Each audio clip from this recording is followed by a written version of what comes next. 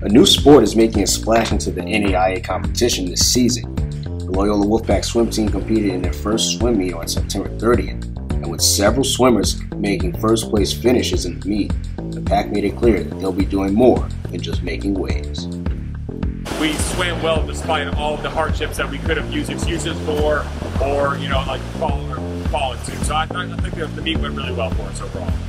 It was a learning experience for Thomas Natal's team. The pack had to deal with a number of adjustments, including dealing with a shorter warm-up time just to get ready for the competition in Shreveport. However, none of that seemed to matter or faze freshman Paige Carter. It's really good. I really like it so far, and I think it really helped me like get my my work in, and it's felt really good in the water. Carter was named the Mid-South Conference Swimmer of the Week for her performance. She secured victories in the 200 and 500 meter freestyle, earning a spot in the Loyola record books. I feel really honored, honestly. I feel very honored to be a part of the school that has a first year team.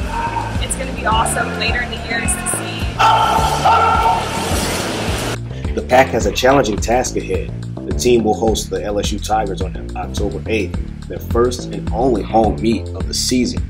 But after competing in the first meet, Warren Massimini welcomes the competition. Yeah, I've swam against LSU swimmers before, and I've put up some really good times just racing them at year-round meets and all, so I don't see why it'd be any different here. I'm really excited for that caliber of the team to come here and for us to get an opportunity to race. them. For the Loyola Wolfpack, this is Mark T. Robinson.